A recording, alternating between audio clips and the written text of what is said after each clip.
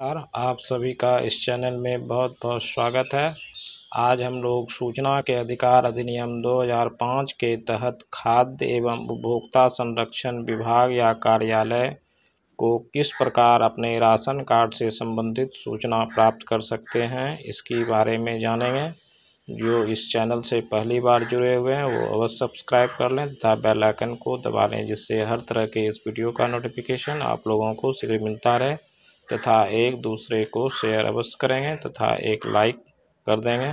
तो चलिए हम लोग जानेंगे सूचना के अधिकार अधिनियम 2005 के तहत राशन कार्ड से संबंधित किस प्रकार सूचना मांग सकते हैं। जिन्हें फॉर्म होगा प्रपत्र को वो अपना फॉर्म में भर लेंगे तथा जिन्हें फॉर्म नहीं है वो अपना सादा कागज़ पर इस तरह भी अपना आवेदन लिखकर सूचना मांग सकते हैं। तो सूचना के अधिकार अधिनियम 2005 के तहत सूचना प्राप्त करने हेतु प्रपत्र को सेवा में लोक सूचना पदाधिकारी, खाद्य एवं उपभोक्ता संरक्षण विभाग या कार्यालय अपने अपने जिला या राज्य का नाम यहाँ लिख देंगे।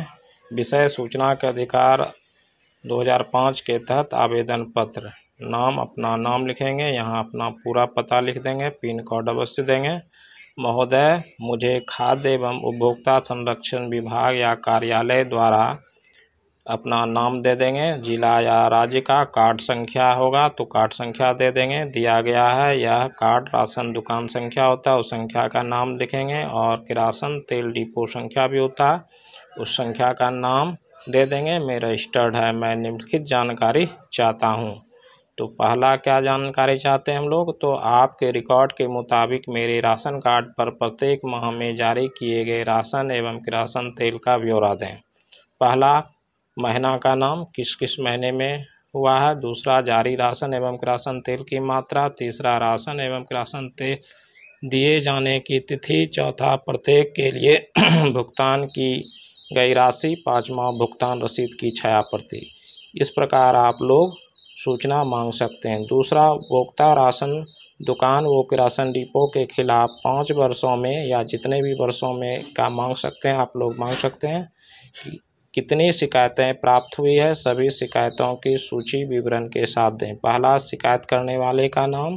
दूसरा, शिकायत का संक्षिप्त विवरण, तीसरा शिकायत की तारीख, चौथा शिकायत पर की गई कार्रवाई का विवरण, पाँचवा शिकायत पर कार्रवाई करने वाले अधिकारी का नाम, पद, व पता शीघ्र चाहता हूँ किसी भी सूचना देने के लिए आपको दस रुपये का शुल्क देना पड़ता है या जो पीपीएल कार्डधारी हैं, उन्हें निःशुल्क सूचना दी जाएगी।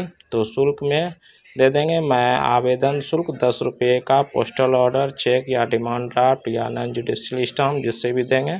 संख्या दे देंगे या मैं बीपीएल कार्ड धारक हूँ, इसलिए शुल्क से मुक्त हूँ। मेरा कार्ड संख्या इतना है। जो बीपीएल धारी हैं, उन्हें कार्ड का छाया प्रति और राशन कार्ड संख्या देना होगा। दे देंगे अपना हस्ताक्षर, पूरा पता यहाँ लिख देंगे, स्थान और तिथि का नाम दे देंगे। इस प्रकार हम लोग राशन कार्ड में हो रहे गड़बड़ी या धांधली की भी शिकायत कर सकते हैं। जय